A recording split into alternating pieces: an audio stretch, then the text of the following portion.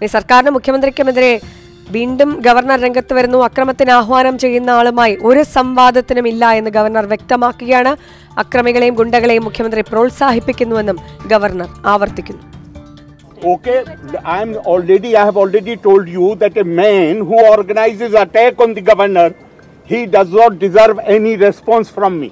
Sir, one more thing. Uh, the Senate members were blocked, are not allowed to enter into Look, look, uh, you now you are you are raising the right kind of thing.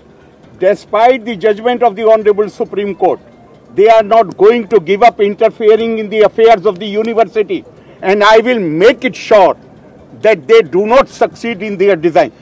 Their whole thing is Kerala is already according to them, not according to me.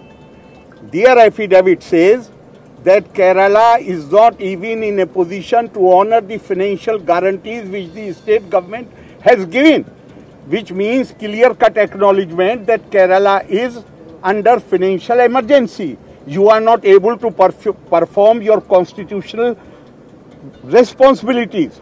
And then they are doing all this because I now feel that they have a design that some they are inv- they are trying to create a situation where some drastic action is taken. I am not going to oblige them. ഇനി ഗുസ്തി ഫെഡറേഷനിലേക്ക് Brij Bhushan panel ജയിച്ചപ്പോൾ തോറ്റത് രാജ്യത്തിന്റെ അഭിമാന താരങ്ങളും